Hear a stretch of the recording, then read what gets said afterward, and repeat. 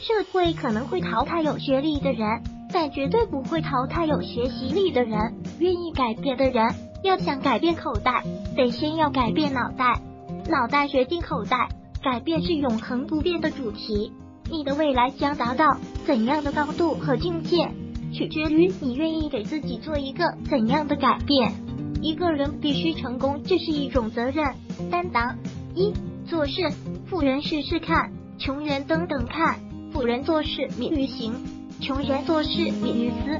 在前途未卜的情况下，富人会先做起来，而穷人则是观望。二决策，富人坚决果断，穷人犹豫不决。富人决策思想是宁可过错，不能错过；穷人决策方针是宁可错过，不能犯错。三困难，富人找方法，穷人找借口。面对失败或困难的时候，富人会千方百计寻找解决的方法，而穷人只会找推卸的理由。四增收，富人讲开源，穷人讲节流。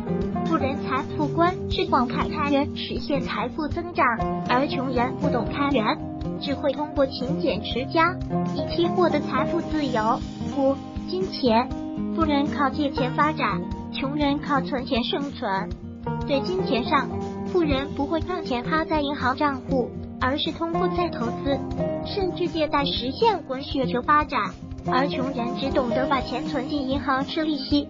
六项目，富人先考虑机会，穷人先考虑风险。一个新的项目，富人首先考虑的是机会，如何抢占先机；穷人首先考虑的是风险，万一赔了咋办？七事业，富人永不止步。穷人向富己安，在事业的追求上，富人很贪心，永不止步；而穷人则是很安。心，不求大富大贵，只想向富己安。八信心，富人说没问题，穷人说我不行。面对挑战的时候，富人有强烈的自信，会说没问题；而穷人则是自我否定，会说我不行，来逃避挑战。九人脉。